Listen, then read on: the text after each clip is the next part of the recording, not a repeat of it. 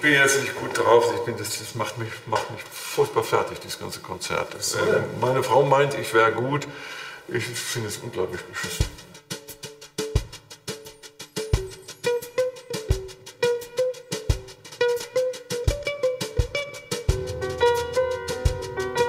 Dass wir zusammen auftreten, Sie sind natürlich Konstantins Idee, weil er ist, der ist so ein Mensch.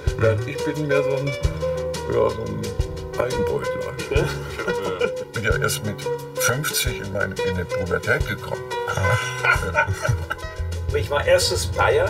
Einer, der aus Bayern kommt, da konnte man sich gar nicht vorstellen, dass er überhaupt politisch denken kann. Ja? Dann war ich kurzhaarig und hatte Bodybuilding damals gemacht.